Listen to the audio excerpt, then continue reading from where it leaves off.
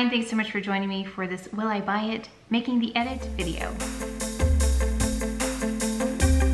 I haven't filmed one of these in a while because there actually wasn't much that I was considering. There were a lot of makeup releases that I just let go by because they weren't innovative or anything different than what I had typically seen out there. But there are a few, like I said, that have caught my attention. So this channel is called Everyday Edit. I'm constantly testing out products and keeping the things that work really, really well. So finding the best of the best for you and then discarding or phasing out items that don't work as well. So I'm constantly evaluating these products and it takes a little bit to even get into my rotation for me to try it out. So either products are sent to me or there are items that are really innovative, really compelling. So I don't buy every new release out there or try every new release. So these are ones that have caught my eye and some that I'm definitely passing on. But I thought they might interest you. So I thought we could have a discussion. Leave your comments in the comment section below. Let me know what you are considering.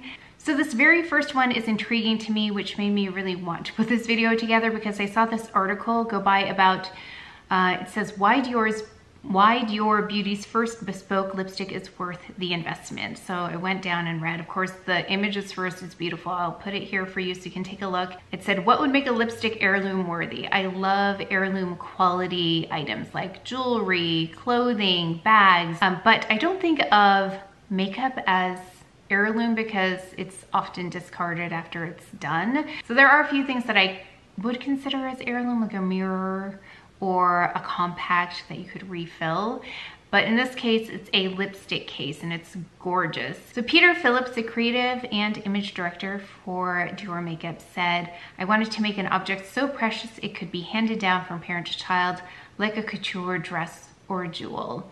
And I love this because you can reuse this lipstick case. And it says here though, and I don't know, I don't know, it says it has a palette of 12 exclusive shades, easily interchangeable with a quick and very satisfying click. Okay, so that part I get, but then it says the refills will exist indefinitely. So I'm not quite sure what indefinitely means because if you hand down the lipstick and then they stop making it, I mean, it doesn't say forever. So that's a hitch here because they have to continually make this lipstick in order for this concept to work. Because if they stop making the lipstick, then the case is I guess just a beautiful heirloom that you can't actually use. But it says it will have lipsticks that look like velvet in the tube and feel like satin on the lips. And I wonder if it's more like the, who am I thinking of? Lisa Eldridge makes a beautiful lipstick like that. I wonder if it's that formula. It says it's infused with hibiscus extract and 24 karat gold. It smells faintly of rooibos tea and bergamot. And I love that fragrance. I'm wondering if it's gonna smell like, um, what is the word, what is that one I'm thinking of? Oh gosh, Earl Grey maybe? I'm wondering if that's more the fragrance. It says the shape of the bullet resembles a pearl drop earring, which sounds beautiful. It says only a few thousand Dior Rouge premier ceramic cases exist on the planet now in the EU and in the United States beginning September 1st. I am really interested in this. I don't know the price point. It doesn't say here. Let me know if you know anything else.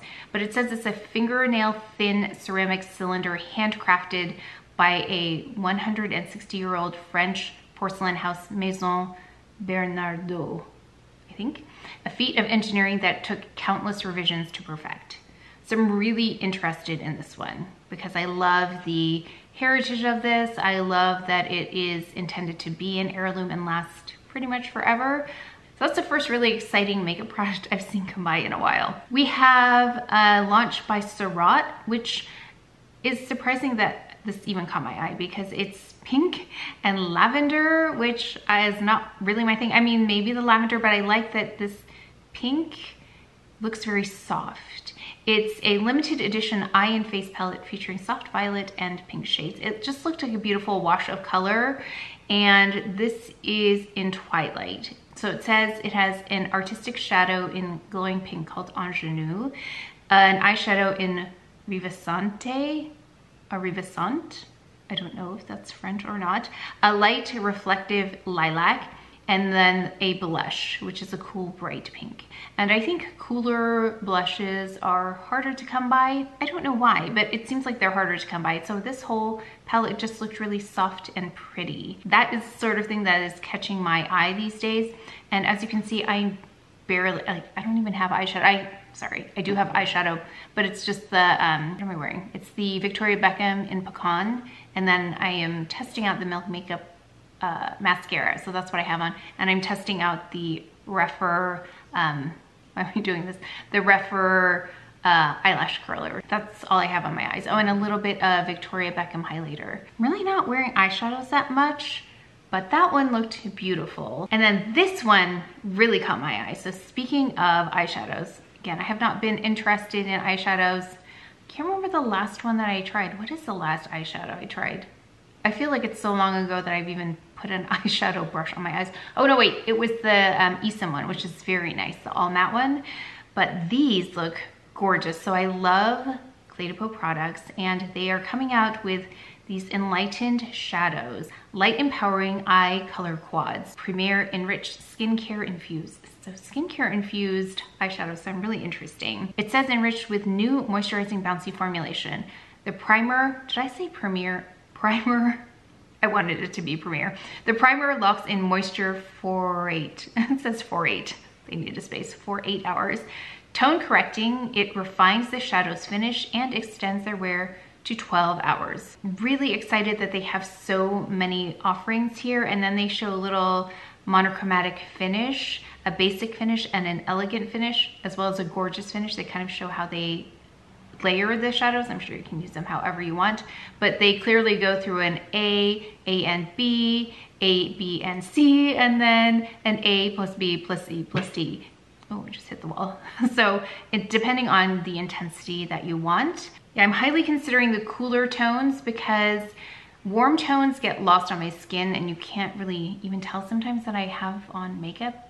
And I guess maybe that's a thing, but I feel like I wanna see a little bit, so I need a little bit of a cooler tone. So I'm loving Cool Beige, really curious about that one. I am interested in Cool Brown. They look very similar, but Cool Brown looks like it has a little bit more red in the, or like a purpley tone maybe, and a little bit more mocha in one of the shades. So those are similar, but very different looking. I think they'll look very different on. Uh, let's see, not as interested in the cool rich brown. I don't know if I can wear that magenta shade. Maybe. I love a good green, so I might have to try the green and then the blue I know who's gonna try this blue. Allison Chase is gonna try this blue, I bet, because she loves blue eyeshadow and that's gonna look stunning on her. I would be interested in that as well. And then the purple. I love purple on brown eyes. So those are the ones that I consider. I'm not sure when they are being released. It keeps saying, like you can look at it online. You can kind of evaluate the colors and if you click on one, I haven't tried this, but it looks like you can put your image there and see what it looks like, but I don't see it that you can order it. So I don't know the details. If I can find out, I'll see if I can chat with them. I will leave information in the description box below if I found out any, find out anything. But the one that they feature here um, in, I can't, don't know which one this is, but it's like a peachier tone on this model skin tone looks gorgeous. It looks very gossamer, it looks very soft and natural. And Peau is excellent about enhancing the look of the skin. I think they have some of the best skin perfecting powders, like their setting powder, their blush is gorgeous. And then also their foundation based products. Of course, you know, I love the concealer, so I have really high expectations for this product, which is both good and bad, but I will definitely be investing in one or two or maybe even three of them. We'll see. Moving on to Dior again. So Dior, I'm confused by what is new from Dior sometimes because they don't change the packaging. Well, they don't change it very much. I can't tell, I can't remember the old packaging on this, but it looks similar because I saw this pop up on Saks and Saks is not the best about indicating what's new. I like to sort, yeah, sort to buy newest so I can see the newest products on top. And I saw this closer to the top and then I wondered, is this new? It doesn't say new, you just have to infer that it is new. But on Sephora it says new, so I'm glad I saw that because I noticed the shade was 33, I think, and I had not seen that shade because I had used, I think, O something, 03 before, or 032, I can't remember. But this one has an interesting shade, and this is the one that I saw on Saks. Okay, there are one, two, three, four, five, six shades. So 033 gray brown for ash brown browns, no, browns. for ash brown brows with neutral undertones. I'm really interested in this because any red or purple will pop out on my eyebrows and look really artificial. So I'm really interested in this gray brown because I'm always asking for asking for gray or green tones in there. So I'm not quite sure what makes this new. I mean, I'm sure it's probably reformulated. Not quite sure, but I do want to try that. So now that I'm sure that it's new, I will be picking one of those up. I think I'm gonna try 033 gray brown. I think. I think that's gonna be the best one because dark brown looks still a little bit warm. Yeah, so for my hair, I don't wanna go too dark with the black on my eyebrows. Although I can see the wisdom in mixing a few, like maybe the gray brown in the front and then the dark brown for the arch. That might be interesting. So I'm definitely gonna pick one, at least one up. And then we've got the Dior blushes. Of course, rosewood, soft rosewood, that's always gonna be a great shade on because it has a little bit of a beigey tone in it, which is why I like rosewood. They have um, 001 pink. Do I have this? I feel like, I feel like I have this or had it. I definitely had 004, the Luminous Coral. is a really lovely blush. Innovative blush reacts to the skin's moisture level upon application to deliver a customized rosy effect. I don't know if I need to try this. Let me know. I love blush but I don't know if I need this one. If I'm going to try it, that would be 012 Rosewood. This mahogany shade is interesting. A delicate mahogany. That might be really lovely looking. They have it on the model here. It's maybe like a sun-kissed kind of look. I'm wondering if that's what that look is. That might be really pretty. Oh, I don't know, I'm curious about that shade. Okay, then moving on to Okay, this Chanel product. Chanel, let me look it up. I'm so unclear about this product. Chanel Rosy Beige product. The only place I can see it is this on this site, this where you can get products from overseas. And I don't know if it's coming to the US. I'm so curious about it. it says that it's a cream gel makeup that evens out and illuminates the complexion with a subtle rosy veil. Lightweight formula, easy to blend, easy to blend and leaves skin looking smooth, even and luminous. It's in a travel size. It has wax and powders for, and I love that. I love when there's a powder mixed in with a liquid or cream formula.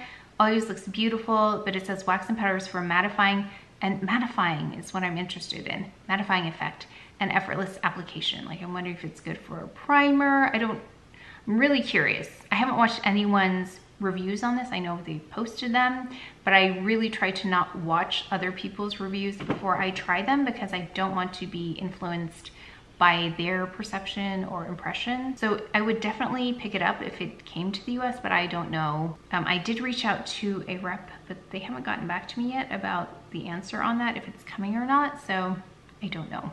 But also the Le Beige travel size, I love that. I have medium plus. It's one of the products I've gone through the most ever and repurchased, repurchased the most because you've seen the versatility, if you've seen my previous videos, the versatility of this product in that it can fix makeup mishaps. If you haven't seen that, I've shown it a few times, but recently um, in a wear test, I had to use it because I had some issues with my makeup. So Love that. So I will definitely pick that up, even though it's a travel size. Next to the Dyson Air Straightener, let me see what it's actually called. Okay, I saw this demoed on, of course, a channel, one of the channels I watch it watch, and they showed how easy it was to use.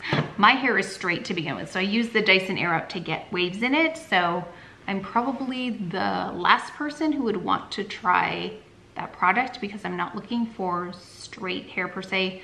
Although I have to say, one of the reasons I don't wear my hair straight is because it can be a bit, um, oh, what's the word? Wiry when I just let it air dry. It's not like silky straight. And this I think would be a silky straight kind of effect and that you can go from a damp hair versus with a straightening iron, which I was talking to my hairstylist. He said typically you don't go in with a, um, a flat iron, that's it, a flat iron with damp hair because it has the potential to damage the hair. So he said maybe this is to cut out that step, cutting out the blow dry step of straightening your hair and just going straight to the air straight.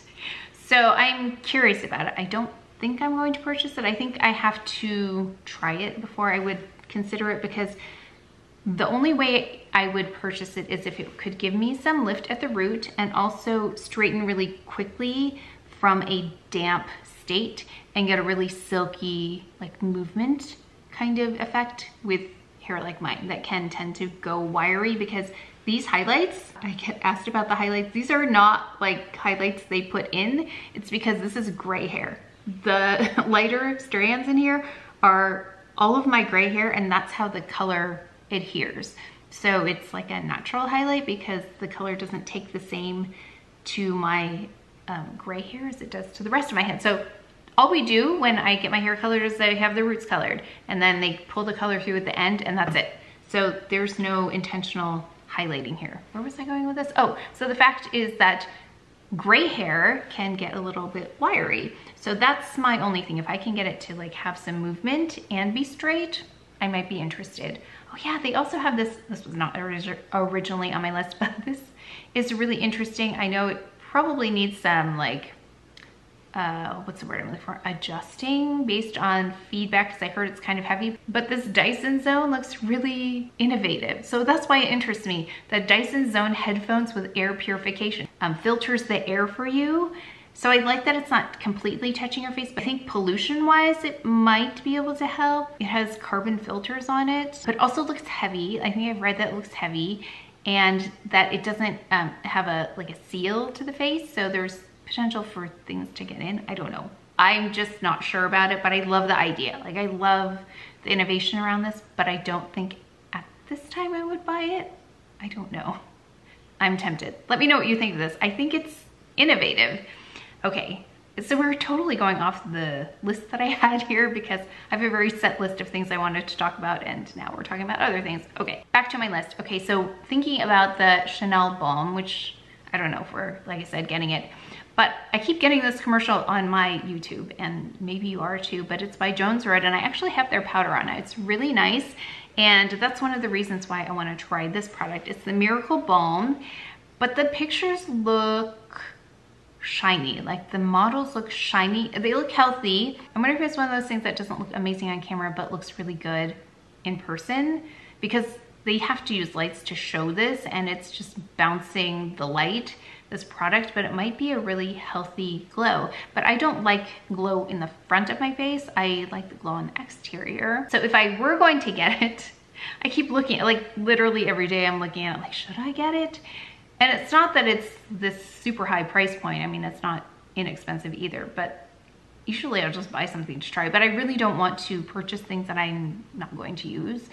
So it's less about the cost and more about the I don't want to add clutter and waste things that I'm not going to use. So starting with Au Naturel, the clear balm looks interesting for all over the face, but again, I feel like the Chanel product might be more ideal because it seems more matte with the powders in it versus this that looks more like a balm. And then if I was going to choose a color, the one, the Magic Hour, which is more cool with a but it says it has a silver shimmer because I think bronze is too red for me. I think bronze might look really pretty as a blush. So I'm conflicted on this. I wish they had little like testers that were as small as a like a lip balm size.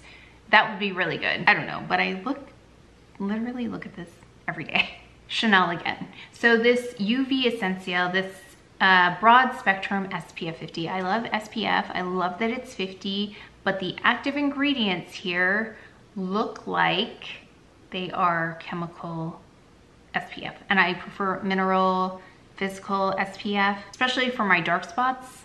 I don't know if that's a myth or not, but I try to get more physical SPF on my face for those, face for those, and with a tint also. So based on the ingredients, I'm gonna say it does not look like a mineral physical SPF. But I like their innovation. It's sourced from the Chanel Open Sky Laboratory in Madagascar and Tahitian gardenia extract helps fortify the moisture barrier and prevent the appearance of signs of aging. So I think SPF, I think that's one of the purposes of it. But I have heard about their Sky Laboratory, which sounds very interesting and um, I like the science behind it. But I don't think, I don't think I'm gonna pick this one up just because it doesn't have the active ingredients that I look for in SPF. And then we've got these Victoria Beckham Satin Kajal liners. I love their eyeliners. I would typically put on gray, but I didn't even put eyeliner on today. Just wanted to see what this mascara could do. But these colors are very bright. Uh, it's Electric Blueberry, Cherry Blossom, and Sour Apple. So they look pretty. Like I love the colors, but I don't think I would wear them. I, they're really fun. I do not have a fun personality. I would not say I'm a fun person, but these are very fun. And so I think if you have a fun personality, this might be really interesting for the summer. If I was going to pick one, it would be blue, the blue electric blueberry. I think that's beautiful. Would be pretty on green, not green eyes. I don't have green eyes. Brown eyes, I was looking at the green. And then I would probably do green next. And then the pink would be my, probably my last choice if I was going to pick anything up, but I don't, I don't think I'm gonna pick anything up. But those are the items that I at least looked at, took a closer look at, um, have got my eye on and decided for some of them, no, I'm gonna completely pass on them. But I would love to know what you're planning on purchasing. I feel like most of us are purchasing less and less makeup than we did in the last couple of years because I remember purchasing all of the new things just because I wanted to try them out. But really I'm trying to stick to what's innovative, what looks different than what's out there. I'm really interested in those products. And like I said, Dyson, always interested in Dyson products. I don't know if I'm gonna pick those other two up, but they are always pretty innovative. But thanks for joining me for this Making the Edit buy or no buy video. Let me know if you like these. I would love to do them more often, but like I said, I haven't even really been considering makeup lately. I'm more interested in fashion, but makeup is my first love and I will always, always be featuring luxury beauty. So let me know what those things are that you're interested in. But that's it for today's video. So please take care of each other. Stay well if you enjoyed this video. If you learned something, please give it a thumbs up, subscribe, and I will see you next time.